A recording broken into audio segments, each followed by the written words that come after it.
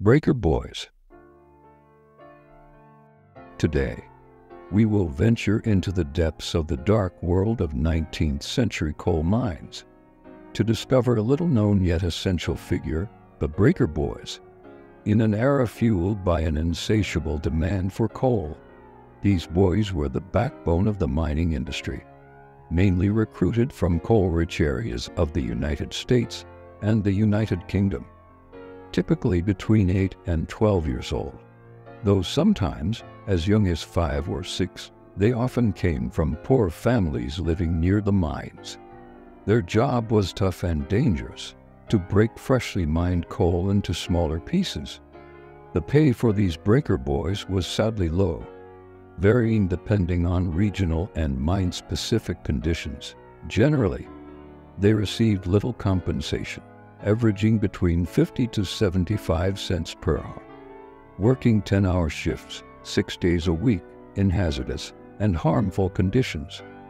The lack of educational opportunities and economic hardship forced these children into the dangerous depths of coal mines. From a young age, their work being essential for their family's survival. The toll on the breaker boys was severe. The demanding task of breaking coal with hammers and picks took a considerable physical toll, prematurely wearing down their still developing bodies. Many of these youths met untimely deaths or suffered serious injuries while working underground. The mines had extremely dangerous conditions, exposing children to various hazards, including collapses, gas explosions, respiratory problems from inhaling coal dust, and injuries from the machinery used in mining.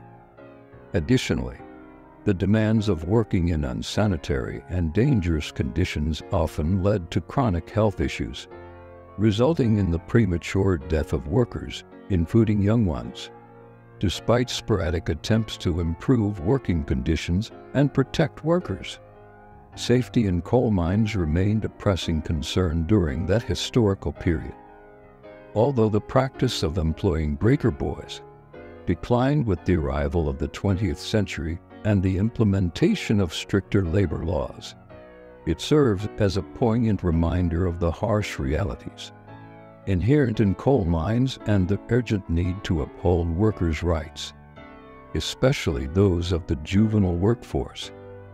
The Breaker Boys epitomized courage in a world filled with dangers and challenges. Their bravery and sacrifice deserve ongoing commemoration.